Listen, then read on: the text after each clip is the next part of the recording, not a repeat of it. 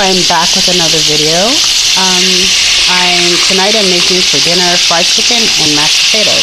So this is the fried chicken.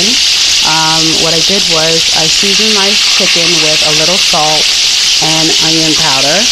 Of course, I put flour on it. Um, I don't like my chicken to be super crispy.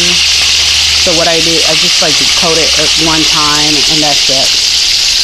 And we're having, like I said, mashed potatoes. There's the mash. Um, what I did to the potatoes was I cubed them in large pieces and I boiled them in salt water.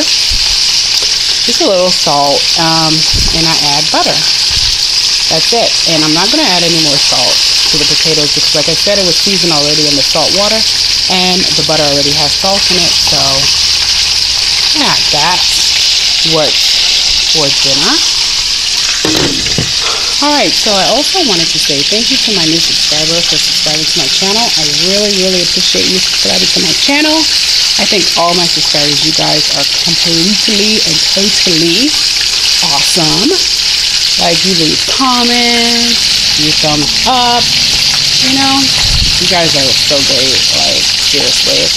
And, um, yeah, you know, I really, really appreciate you guys. And, um, yeah, that's it for this video. Thank you so much for watching and have a good day.